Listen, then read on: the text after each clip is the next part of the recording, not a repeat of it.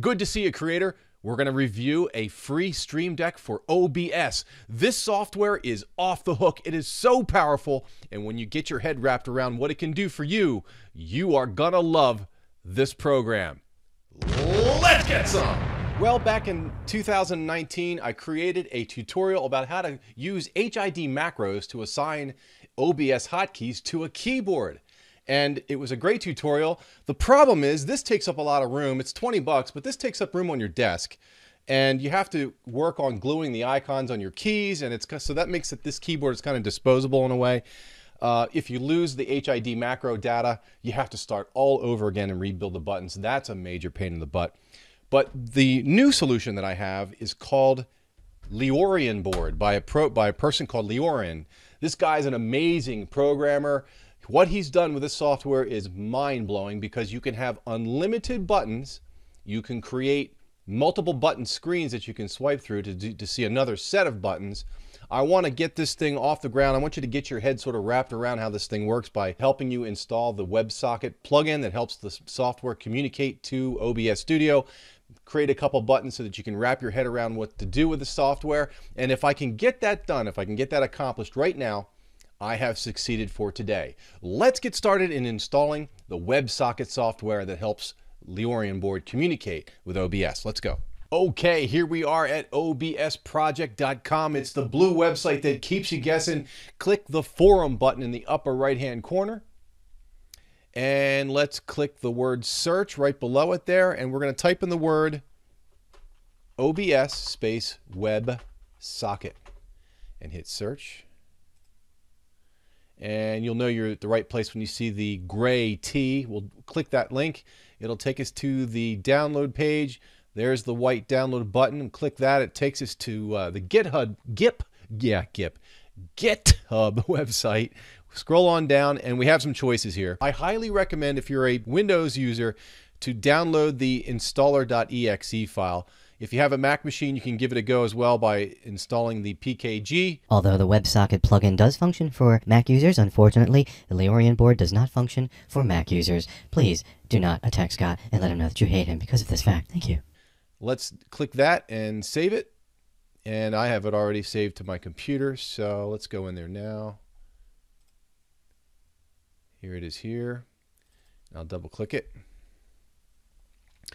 Gives me the license information. I'll hit next. You may or may not know where OBS is installed on your computer. Nine times out of 10, it's going to be installed in the program files folder versus the program files x86 folder. If you want to know for sure where it's located, all you have to do is go to your OBS icon in the taskbar at the bottom, right click on it, and then right click again on the OBS icon that shows up again and you'll get a properties button here. Click it and it opens up the properties window for that program. And as you can see, the target path is in program file. So if you want to confirm where your program is located, that's how you do it. Okay. So the uh, WebSocket installation software has assumed it is in the correct place. So I'll hit next. Hello, creator. What's happening? I'm going to have to ask you to go ahead and turn off OBS Studio. Okay. We've got a problem with the software. I don't know if you got the memo, but it won't reflect the updates while the software is running. Okay. Thanks a bunch, creator. And then for some reason we get this weird prompt that says folder exists, blah, blah, blah. Just hit yes to that and we will hit next and then install and finish. Now to confirm that the software is properly running in OBS, we're going to open it up. I'm going to get it up and running here. And then we will go to Tools, Subchoice. There it is, WebSocket Server Settings. That confirms it's up and running. Notice that the Enable WebSocket Server is checked off. That means the WebSocket will start to run when OBS is opened up. Okay, we're good. Okay, now we're going to install Lioran board. Again, this is a standalone program. It can reside anywhere on your computer because all you have to do is click the exe files and it works. Okay, you don't have to put this inside of OBS. We're back at the forums. I'll, I'll click search and I'm going to type in Lioran board, which is spelled L-I-O-R-A-N-B-O-A-R-D. Okay, and I'll hit search And I'll click the first thing that comes up.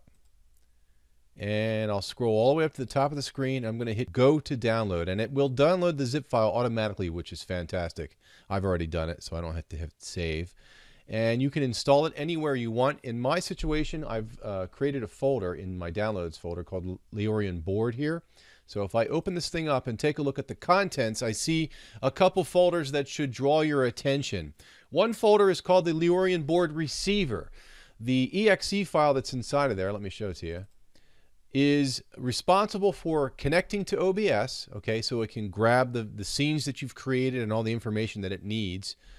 And uh, once it grabs that information, then you can begin to create buttons. So for example, you could create a button that would go to a scene. So instead of you having to type in the scene, the receiver goes out and grabs that data from OBS and allows you to choose from the available scenes that you've created. See, that's why this software has to connect to OBS. So it's, it's important that your OBS WebSocket is running properly before you get this thing running, before you click that.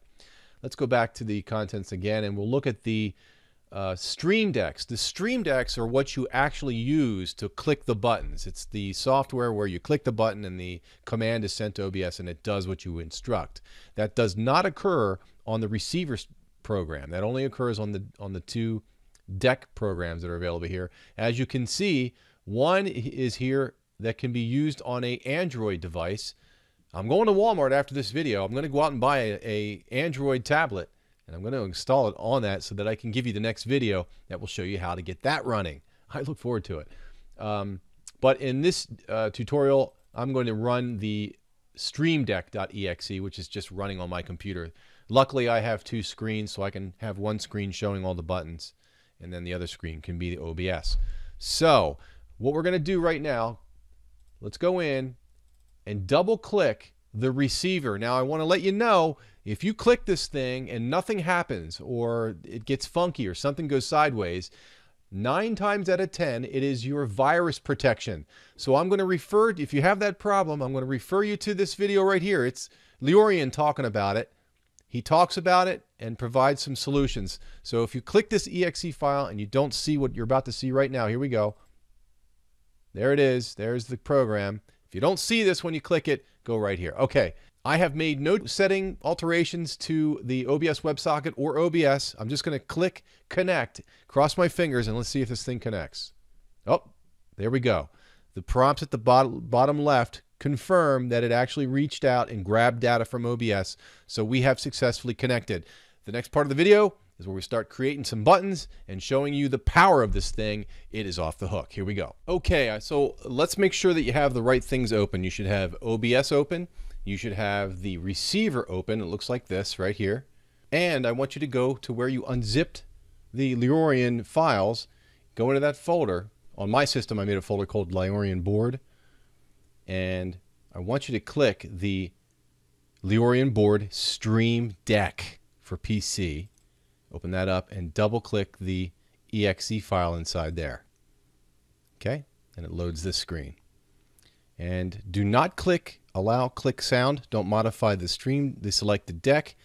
Don't modify your port or your IP address, okay? It should look like that. What you see is what you should use. And I'm going to click connect. And this is what it looks like. This is the actual operating buttons that control OBS and it says it's connected to the receivers. That's a good sign. So just to give you a review here, um, these arrows in the upper right hand corner will take you to the next menu. I just made this menu here. It contains all the sound effects that I want to use, okay?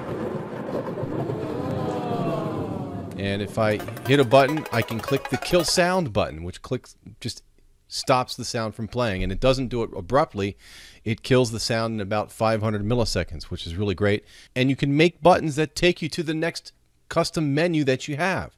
So in this button here, I've set up some scene switching buttons. So if I open up OBS right next to it and I click these screens, it'll switch automatically to the scenes that I've created, which is really great. If I hit the next button, it'll take me to the next menu. And this gives you a demonstration of the power of this thing it actually can control the, the volume of songs being played and actually the playback speed. I mean, this is all done with code. So hit this, I can slow the speed down.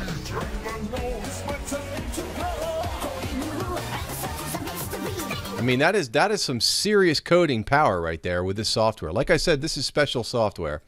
And here it gives you a brief sort of demonstration of the flexibility of the size of the buttons that you can create. And you can add PNG files as imagery to the buttons. And you have full uh, control over the stroke of the buttons. That's what you see here. So let's go in. I'm going to show you how to make a menu real quick. So I'm going to close this out and I'm going to go into the receiver. It looks like a little chalkboard icon down in the task manager. If I click it, I'm going to click add new deck. And there it is there. I'll click it. And this is the editing screen. And as you can see, there is a grid width and grid height uh, designation. Now that basically gives you uh, freedom to basically make any size button that you want. So I would recommend that you go around the 8 by 8 or even higher. So like for example, if I went 10 by 10, it would give me a grid of 10 by 10, which is 100. And if I right click in here and uh, make a blank button, okay, and I'll name it test real quick and change the color to something, I don't know, blue. Hit uh, done for the color, hit create. It creates a button in the square. And as you can see, the word test is kind of, I don't know, it doesn't look that great. There's not much air around it. So there's these little drag buttons here. There's one to the right, there's one at the bottom and to the corner. If I drag this, you can make it bigger and it will snap to the designated grid size that you've created. So in this instance, it is 100 squares that you can modify. So I could technically make one menu with one button in it if I wanted to, okay? Pretty cut and dry. If I went in here to the grid width and I made it 50 by 50, now I have more flexibility to change the size of all these buttons. So you see what I'm saying? So the more grids that you have, the more squares you have, the larger the grid width and height, the more flexibility you have to change the button size. That's all that is. And you could technically make tiny buttons in here, but it wouldn't be practical because you wouldn't be able to read it. But you get the picture. Now, if I was to go in here and click a button and play audio, I'd click the play audio button and it's wanting to designate the sound file. And the sound file can be anywhere on your computer. The sound files do not have to be placed into OBS Studio to work. That's a good thing, I think, because it makes all that clutter. You don't have to put uh, sources with with sound files in OBS. You don't have to deal with that. It's just a, it just makes OBS a little bit cleaner. All the sound is being run from Lioran board, which is really great.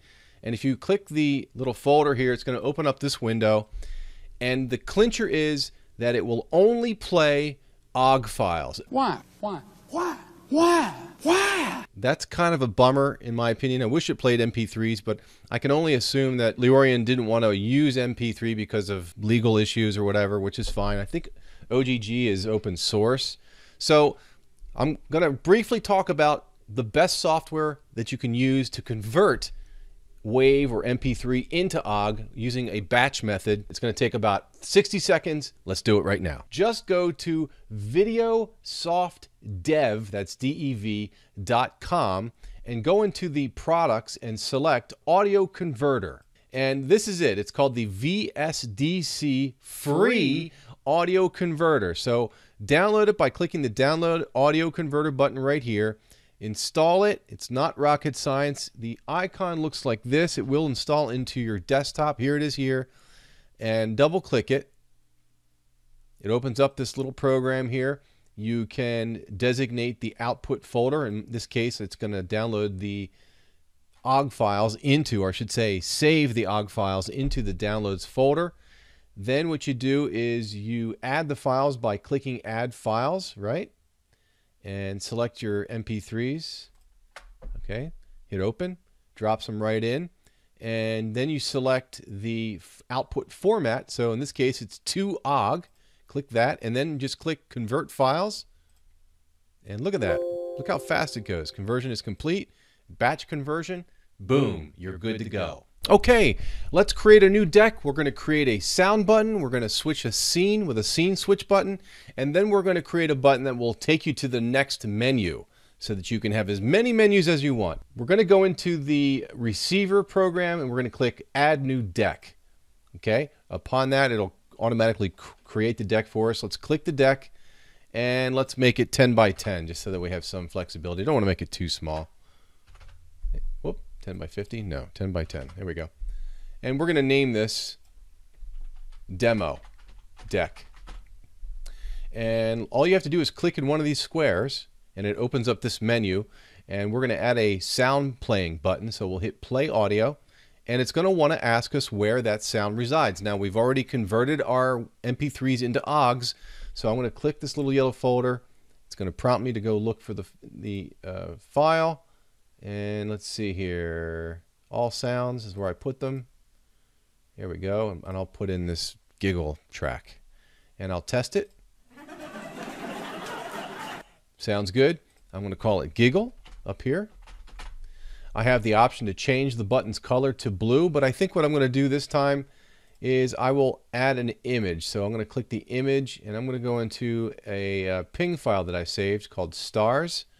And by the way, you can't use motion pings, unfortunately, not yet at least. It would be nice if we could have motion buttons in there, but for now, static pings only. Hit open and we're going to create it. And there it is. Now the next button we're going to create is to switch scenes.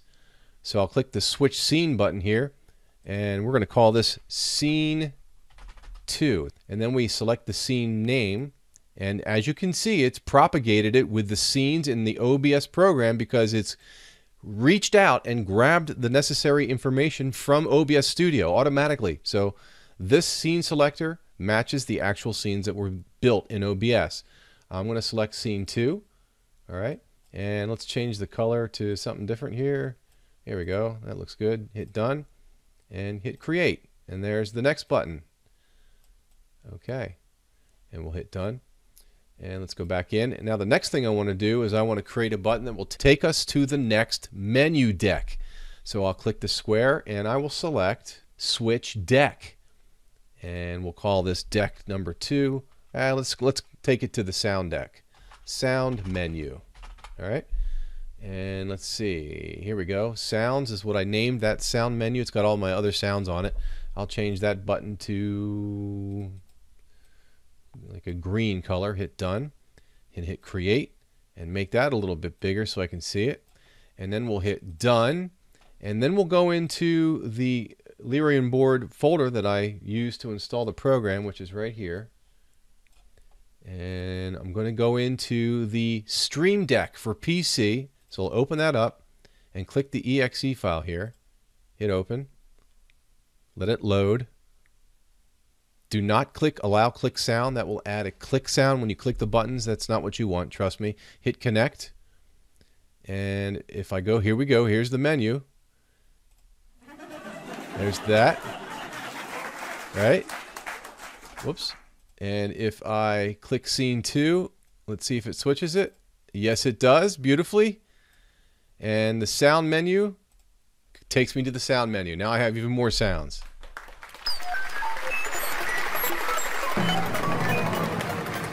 And as you can see, I programmed a kill sound button here in the lower right hand corner. So this gives you just a general idea. Literally, I could spend an hour to two hours explaining the functionality and the power of the programming. You can add hotkeys, and by that I mean you can assign keystrokes to the from your keyboard. You can do stuff like random select buttons that when clicked do different things. You click it a second time, it does something else. You can click a button and it changes the button's color. You can click a button and the button moves. Literally, the options are unlimited, but I just wanted you to get sort of a taste of what's going on. I'm getting psyched. I'm going to go out and buy myself a Droid tablet so that I can help you guys understand how to hook up a Droid tablet to this thing. I'll catch you on the flip side. Stay strong and keep fighting. Remember, don't give up. Stay strong, keep on posting, and you will win.